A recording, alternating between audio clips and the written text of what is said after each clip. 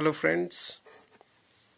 I've got with a new video after the request that I need to explain more about some specific books especially about the modern India how it is.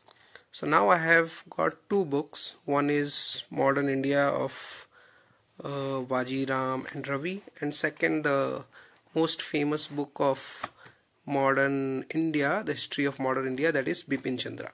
So we will see the similarities and what are the basic differences of two books and uh, how it cope up uh, with the challenge.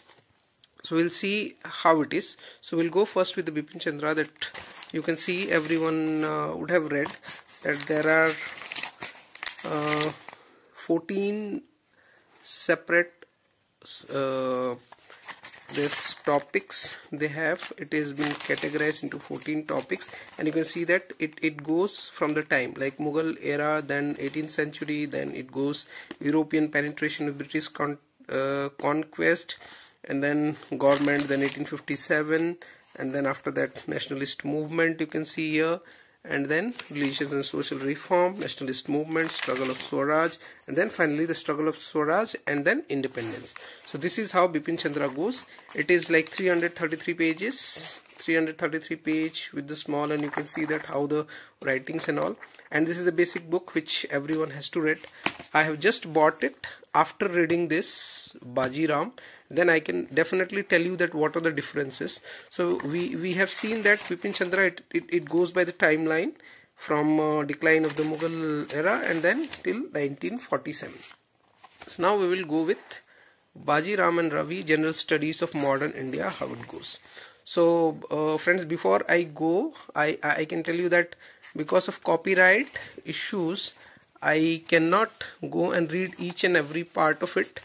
Uh, about uh, Vajiram but yes I can give you a quite good summary that how it goes uh, and uh, what are the important points here and what it makes difference and then the Bipin Chandra and why it is like a notebook kind of uh, history which we can get it for entire uh, modern histories for mains as well as for prelims. So I uh, we can there are three sections uh, basically. One goes till uh, 1857 I'll, I'll, I'll tell you in detail. There are three sections. First section goes till 1857 uh, and uh, the second section it goes from 1857 to uh, to the uh, independence 1947 and after that it goes about the different uh, facets different uh, important topics it talk about. So there are uh, around 22 uh, points we can make it. There are major 22 points. The first goes starts with European when the European came into India and after that it describes about Mughal how Mughal decline and then uh, British acts it talks about entire British acts how separate uh, different different British acts came up came up like uh, charter acts education policy and different kind of policy.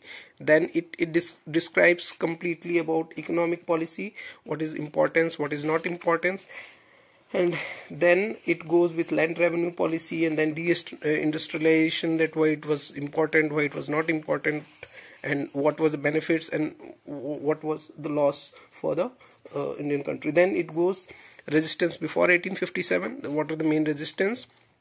And second it goes uh, resistance uh, of 1857 then uh, after 1857 what are the major revolts? Then it talks about the reforms cultural reforms social religious reforms.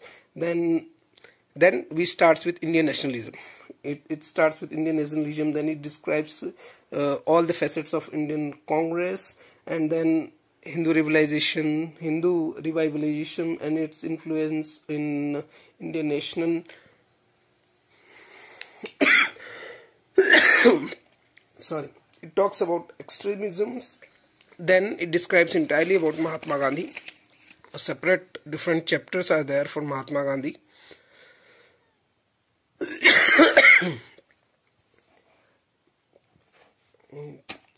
Then it goes about national movements. Then world wars what is the difference with world wars? Communalism women and national movement dalit movement evolution of foreign policy. Now what is difference here?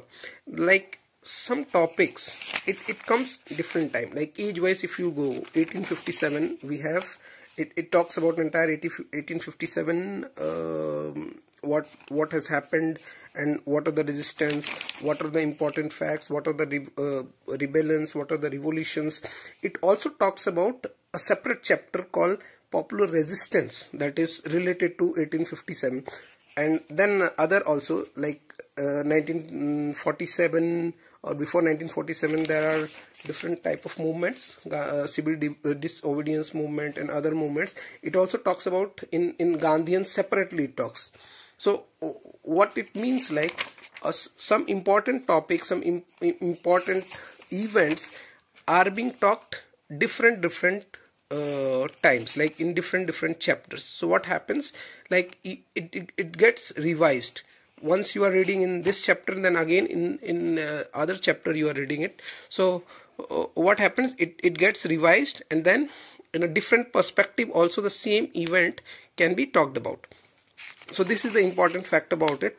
So um, yes if we are reading it uh, modern india by bipin chandra which i have to read once again but i have gone through and i don't find anything um, you know in, uh, different in bipin chandra if i have read it once this uh, Vajiram and Ravi. So as I said earlier, I am taking uh, history as a subject uh, for mains as well. Uh, so uh, this book I feel it is very good especially for the GS purpose for mains what is going to happen uh, what are the books we need to read that that we will decide it separately after the pre um, prelims